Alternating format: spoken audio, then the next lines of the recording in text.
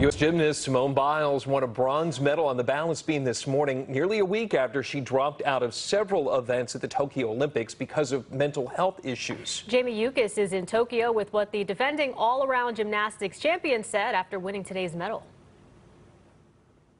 Well, I honestly wasn't even expecting to medal on beam. I just was trying to go out there and hit a good beam set. Simone Biles placed her hand on her chest and let out a sigh of relief as she nailed her dismount from the beam to win a bronze medal.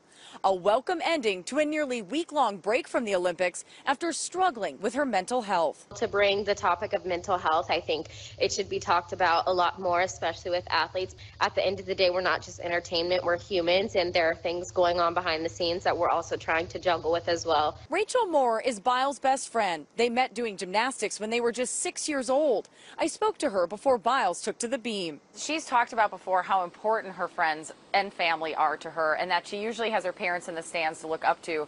Has she talked to you about that, just missing everybody?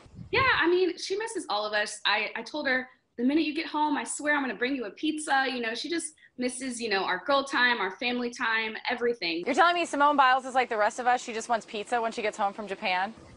That's all she wants.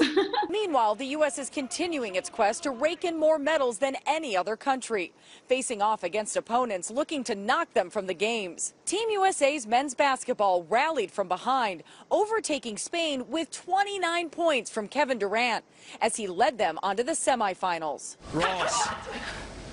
She's got it! And that will do it. Team USA emerged from the women's beach volleyball quarterfinals with a thrilling win over Germany Monday. Third heat of the women's 400, Allyson Felix third from the left. While nine-time Olympic medalist Allyson Felix burst onto the track, winning her heat and solidifying the U.S.'s place in the 400-meter women's semifinals.